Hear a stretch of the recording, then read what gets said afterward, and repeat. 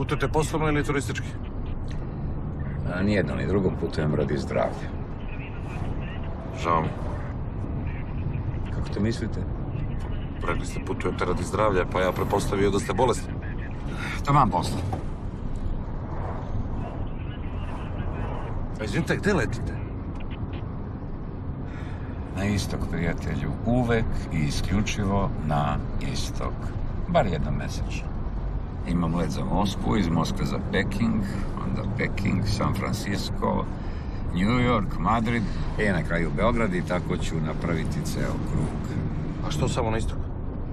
Pa sve je vrlo jednostavno. Zemlja se rotira na zapad, ja sve vreme idem na istok. Tako da iz petka ulazim u četvrtak, kad poletim iz Moskve, ući ću u sredu, tako dalje. Tako da ću celu zemaljsku kuglu obići za manje od dva dana, dok će ostatak čovečanstva proživeti pet dana.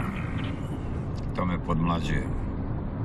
Živeću duže nego što ću živeti. Prizaju, jeste ti ozbiljan? Ano sam ozbiljan. Što vama je logično? Možda malo bolje razmislim i nije. Ako hoćete duže da živite, morate idete na zapad. Da bežite od dana koji dolazi. I da onda tako duže živite.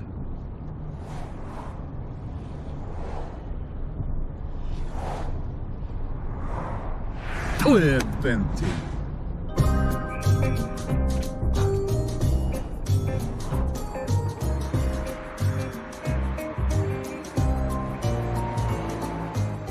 mnogo ti hvala.